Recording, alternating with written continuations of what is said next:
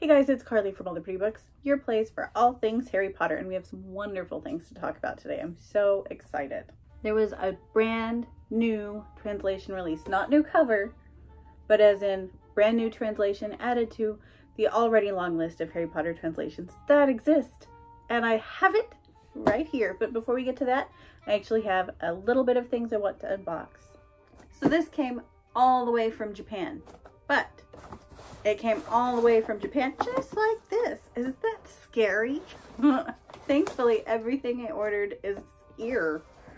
All right, so in case you didn't know, the Japanese, for the 20th anniversary of Harry Potter, the Japanese publisher released the first three books in brand new cover art, and they've got the other four coming, and they're gorgeous. And they put the USB sticker like right here on the front of the cover. Who does that? Like, at least it came off easy, but still. We'll stick that guy there for now. And they're a hardcover. I thought they were going to be soft cover, and they're hard. Aren't they great? This is book one. Harry Potter and the Philosopher's Stone. All the Japanese books come with like little papery things down here at the bottom. They're not attached, so you can take it off. Look at that. Isn't that fabulous? I love their depiction of Hogwarts Castle. There's nothing on the back. It just says in English Harry Potter and the Philosopher's Stone with the Wizarding World logo. And if you're wondering, because I've been asked, if you're wondering if I am going to keep the little ribbony thingy, yes. If I ever decide to resell these, and I don't see myself doing so, some people will not purchase these books if it doesn't have, the Japanese books, if it doesn't have the little ribbon thing, they consider it like almost a book without a jacket. It's not considered intact. So I keep them. And it really doesn't take away much from the cover. We'll just keep it down here at the bottom. What do you guys think? Ah, I love the phoenix. Ah, this is just great. They're in the Chamber of Secrets coming out. It's it's at the end of the book. I love I love that moment. The Chamber of Secrets is not my favorite movie, but or wow, book or movie actually. But I love that moment when Fawkes swoops down, gets Harry. He knows he's saved. He gets to live another day. Such a good moment. And three, I love green. Green is my absolute favorite color in case you haven't noticed. And I, I love green. So I love that the primary colors here are green. Isn't that fabulous? And if you saw my unboxing video of the Infinity box, it came with this really cool tote. And I use this as my mail bag. I get my, my mail from the post office in it now. I think it's very fitting.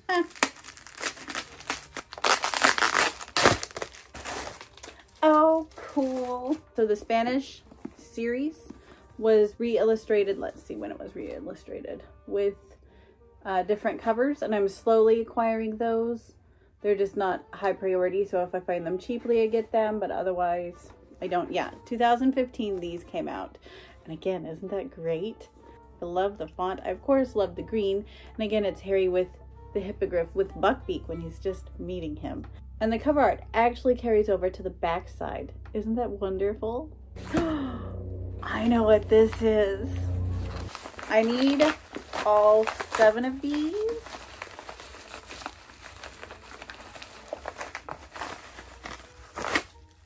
It's the Bulgarian. So for the 20th anniversary of the Bulgarian, published by Egmont, Bulgaria, they redesigned the covers too. They have unique cover art for the first time.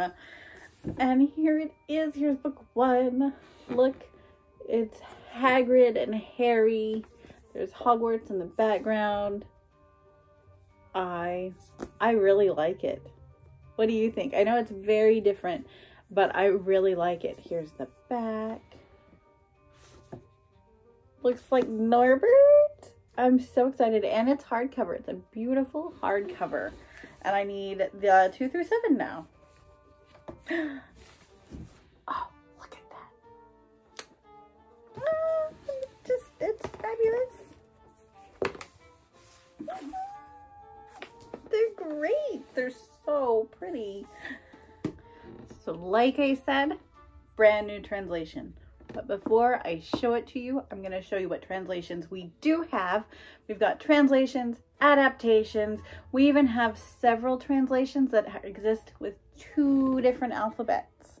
Afrikaans, Albanian, Arabic, Armenian, Asturian, Azerbaijani, Basque, Bengali, Bosnian, Breton, Bulgarian, Catalan, Chinese, Croatian, Czech, Danish, Dutch, Estonian, Faroese, Filipino, Finnish, French, West Frisian, Galician, Georgian, German, Low German, Ancient Greek, Modern Greek, Greenlandic, Hawaiian, Hebrew, Hindi, Hungarian, Icelandic, Indonesian, Irish, Italian, Japanese, Khmer, Korean, Latin, Latvian, Lithuanian, Luxembourgish, Macedonian, Malay, Malayalam, Marathi, Mongolian, Norwegian, Occitan, Persian, Polish, Brazilian Portuguese, European Portuguese, Romanian, Russian, Scots, Serbian, Sinhala, Slovakian, Slovenian, Spanish, Swedish, Tamil, Telugu,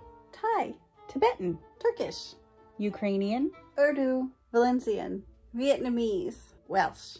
And the newest translation is Belarusian.